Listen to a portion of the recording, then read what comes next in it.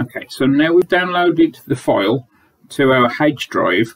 What we need to do is have a look to see what data is in there. The way I do that is I double click on the table. So here's all the data that I need. Okay, so this is the whole of the Guess Who game that we had before. So what I'm going to do is I'm going to show you how to make a query. So I'm going to press create of the of the menu bar and then I'm going to click design uh, query design as you can see, I'm mouse over it there. When I click that, it brings up this screen. All I need to do is add the table to the file. So what we've now got is a little box that has all the has all the different um, fields listed for me. So what I'm going to do is I'm going to double click on each field with the left button and that's going to add it as you can see to the bar along the bottom. So what that now means is I can now check any data I want from inside that query. Now I have my query set up. What I now need to do is start looking at information about the individual people. So what I can do is down here it says criteria. So let's say that I want to know everybody who is female. What I can do is go along where it says criteria and I can click under gender and type the word female into the title there and then I press enter. So what I can now, so what that's going to do is going to filter out everybody who is female.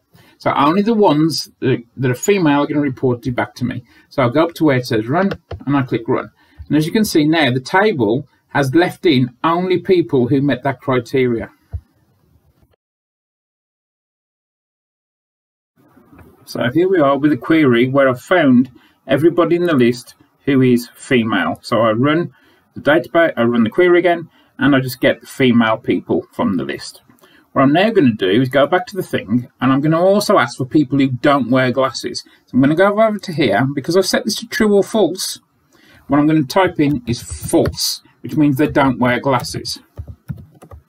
Now when I run it, it's only going to give me the people who are female and don't wear glasses. None of these boxes are ticked, so they don't appear on the list.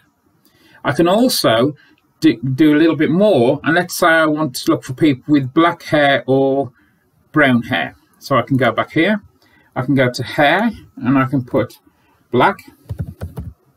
And then in the, in the row below, I can put brown.